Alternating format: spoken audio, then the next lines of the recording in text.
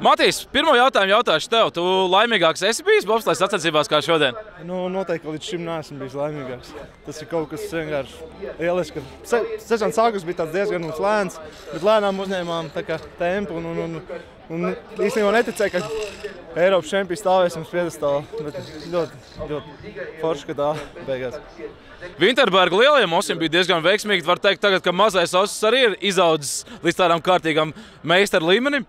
Nē, nu vēl šur tur tāpat bija kļūdas. Tieši pirmā braucienā un, un, un tā kā bija arī vēl rezerve.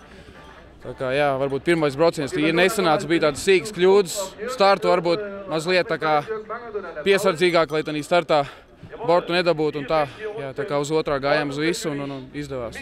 Otra, otrajā braucienā starts arī Žaļamam bija labāks. Ko jūs izmainījāt, Matīs? Tu stum tāpat vai kaut ko bišķi citādāk?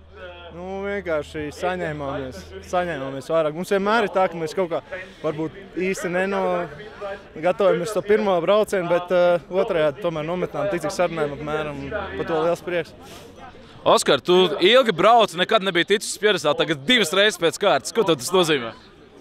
Viss kārtībā tas nozīmē. Nē, nu, sākums ir labs un, un jāmēģina turpināt to visu. Un, un, un, tā kā jāuzlabo, protams, vēl braukšana ir un, un, un ir vēl tāds, šādas tādas lietas. Un, un es domāju, ka varam būt vēl labāki.